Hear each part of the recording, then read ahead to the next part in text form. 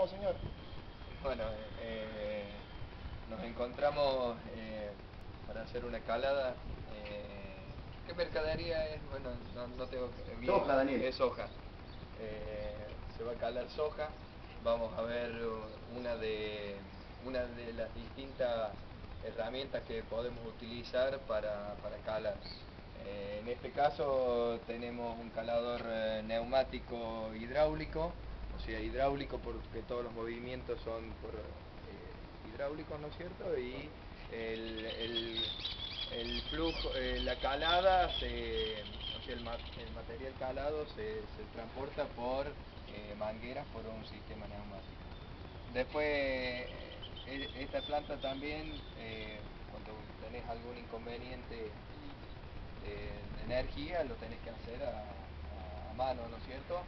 Entonces por eso se dejó ahí una rampa de acceso y se cala con, con el tradicional calador, calador a mano, ¿no es cierto? El calador Santa, que también bueno, un recurso. Bueno, contale a los muchachos cómo es el, el calador, digamos.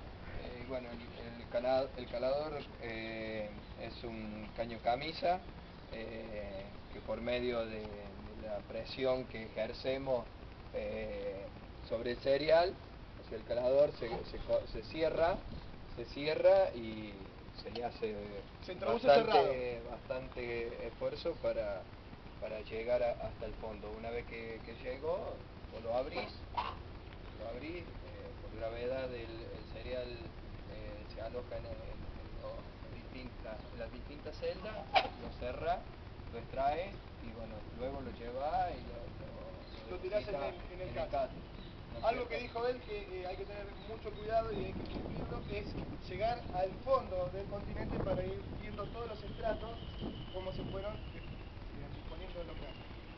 Así que bueno, esa- esas eh, son las dos posibilidades de, de calada que, que tenemos en esta planta.